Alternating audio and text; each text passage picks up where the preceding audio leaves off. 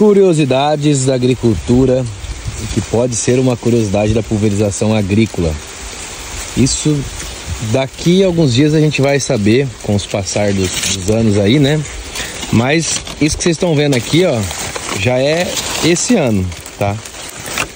Nós estamos acompanhando uma área aqui de onde vai ser colhido o milho. Dá uma olhada, ó. Relei na espiga. Olha o tamanho das espigas.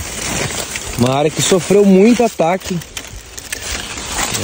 de cigarrinha. E aí, consequentemente, né, recebeu aqui a contaminação com o vírus que a cigarrinha transmite. Essa área aqui, ela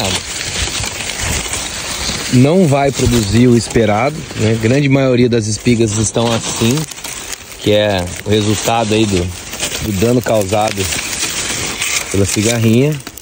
E uma coisa que fica aí de pergunta para todo mundo, né? Todo mundo que planta milho passa por essa situação, mesmo às vezes procurando aí materiais mais resistentes, é, não, é, mais tolerantes, vamos falar que resistência não existe, né?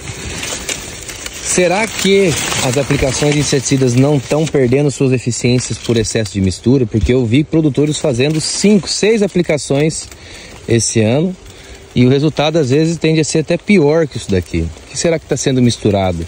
Quais são as moléculas? Quais são os produtos que estão sendo misturados com essas moléculas? Aí, ó. Olha o resultado. Feio, hein? E não é um caso isolado, não.